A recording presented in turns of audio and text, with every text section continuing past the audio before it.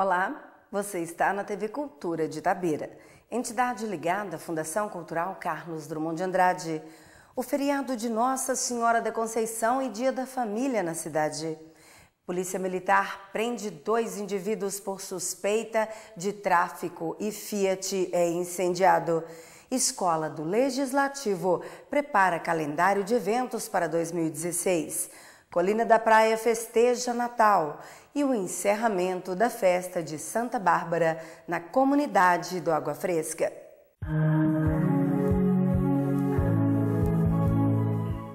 Hoje, dia de Nossa Senhora da Conceição, também é comemorado o Dia da Família. Nas redes sociais, as pessoas amigas postaram mensagens e fotos alusivas ao dia, abençoando e fortalecendo laços que hoje não há espaço que impeça de ser alimentado.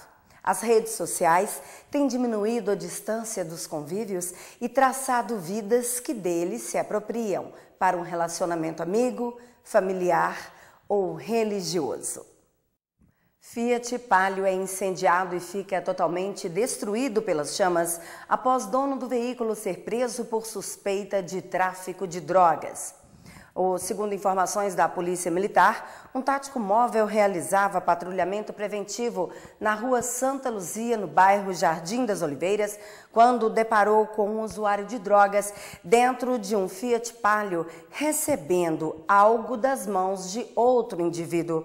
De imediato, os militares fizeram a abordagem dos suspeitos, deram buscas no interior do veículo e encontraram uma bucha de maconha em poder do ocupante e apreenderam cerca de 417 reais em dinheiro. Os dois suspeitos foram presos, levados para a sede do segundo pelotão da Polícia Militar, que fica no bairro Juca Rosa, para que os PMs confeccionassem o boletim de ocorrência. A Central de Operações da Polícia Militar Copom recebeu uma denúncia informando que algumas pessoas estariam danificando um Fiat Palio estacionado na mesma rua da prisão dos dois suspeitos e que o veículo seria do usuário usuário preso e que o mesmo seria incendiado. Várias viaturas foram para o local e encontraram o Fiat Palio completamente em chamas, interditando a avenida no sentido centro. Militares do 4 Pelotão do Corpo de Bombeiros de Itabira foram até o local e combateram todo o fogo. O sargento Solivan pediu para que os PMs entrassem em contato com a CEMIG para que fizesse o desligamento da energia no local, uma vez que as chamas estavam debaixo da fiação, podendo causar um acidente grave. A Escola do Legislativo da Câmara Municipal está preparando a agenda de eventos para o próximo ano. Na semana passada, foram realizadas palestras com o consultor José Dom Carlos Santos para preparar um cronograma de atividades. Servidores da Câmara participaram e puderam opinar sobre cursos e eventos da escola. De acordo com o diretor da Escola do Legislativo, Adoniran Pascoal, o planejamento deve contar com as sugestões dos servidores, vereadores e da comunidade. A Escola do Legislativo, professor Paulo Neves, foi implantada este ano e já agregou projetos importantes como Câmara Escola, que atendeu 600 alunos de 12 escolas, e o Parlamento Jovem, que contou com a participação de 35 alunos de oito escolas de Itabira. Além disso, a Escola do Legislativo deve lançar em 2016 o projeto Câmara da Melhoridade para desenvolvimento de ações junto aos idosos. O lançamento oficial da Escola do Legislativo acontece no dia 21 de dezembro, às 20 horas, no plenário da Câmara Municipal. Em instantes, a festa de Natal do Colina da Praia e a festa de Santa Bárbara na comunidade do Água Fresca.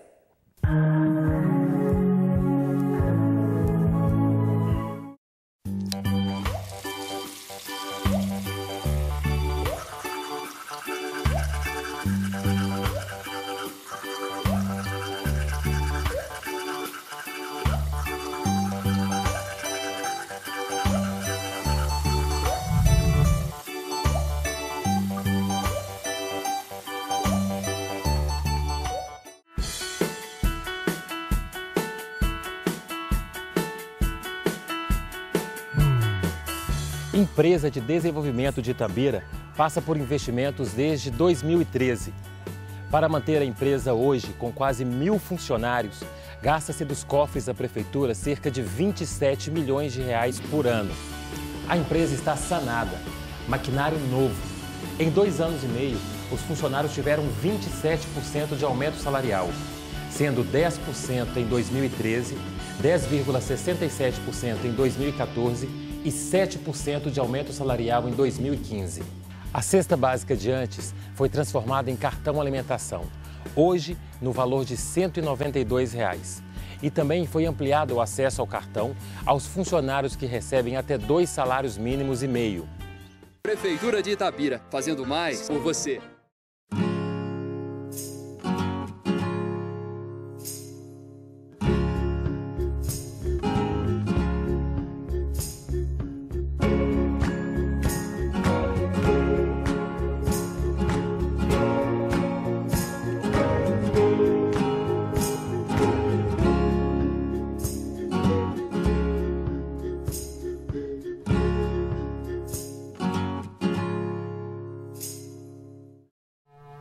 Poupar água?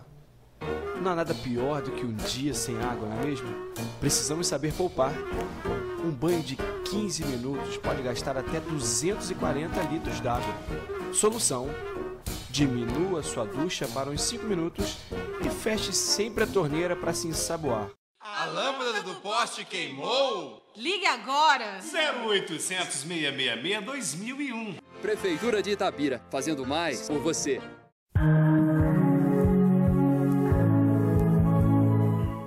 A Associação do Colina da Praia comemora Natal com muitas crianças.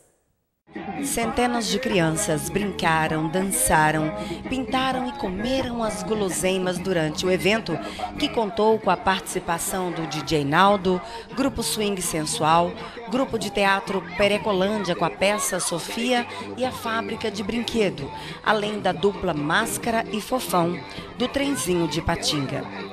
O público, estimado em 250 crianças, se divertiu durante toda a tarde de domingo no pula-pula, futebol de travinha, queimada, cabo de força, concurso de danças e ainda pintaram um rostinho com a equipe do blog Luxando com Letras. E você também pode nos ajudar a produzir o Jornal da Cultura. Faça o seu vídeo cultural ou informativo e envie para o WhatsApp 9 94 27 08 92. Nós vamos verificar a qualidade do seu vídeo e assim passar aqui no Jornal da Cultura. Comunidade do bairro Água Fresca encerra as comemorações em honra da padroeira Santa Bárbara com carreata e missa festiva. A carreata festiva em homenagem a Santa Bárbara percorreu várias ruas da cidade carros, hinos, corpo de bombeiros.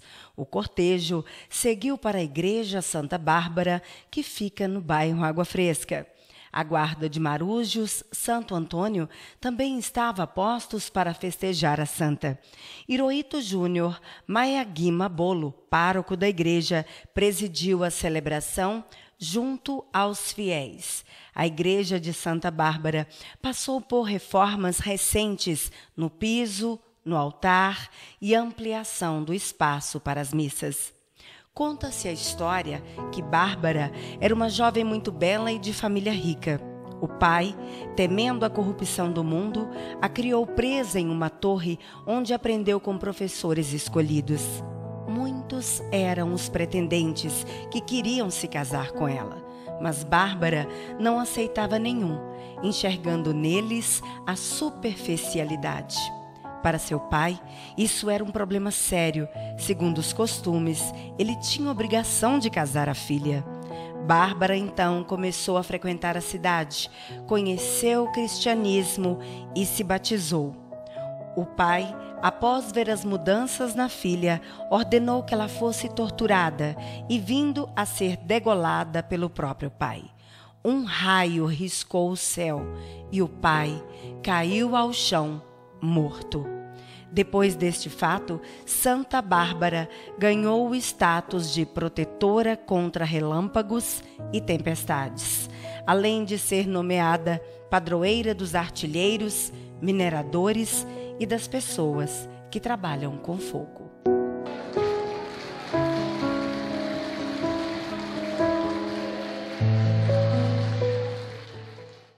Final do Jornal da TV Cultura de Itabira.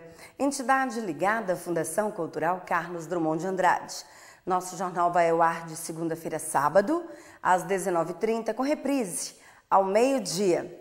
E você acompanha as matérias pelo YouTube ou fanpage do Facebook TV Cultura Itabira. Obrigada pela audiência.